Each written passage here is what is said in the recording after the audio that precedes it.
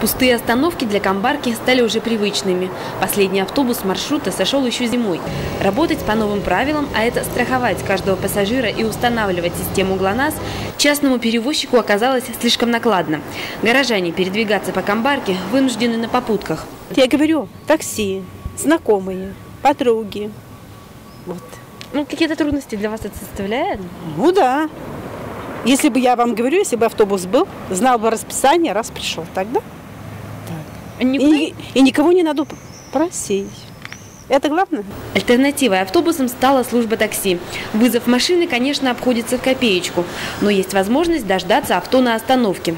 Тогда заплатить за проезд нужно столько же, как в общественном транспорте. Правда, ждать машину приходится долго. Таксистов с лицензией в городе немного, да и работают они не по расписанию. Но официальных около восьми машин. Хватает? Не знаю я точно.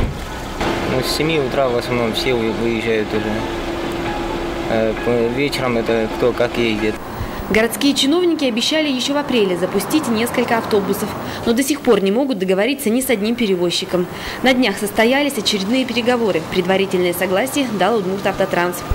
Они планируют э, поставить э, на маршрут 4 автобуса, то есть интервал движения будет где-то порядка 15 минут.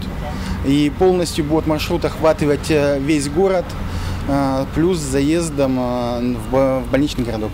Движение общественного транспорта в Камбарке возобновится уже в июне.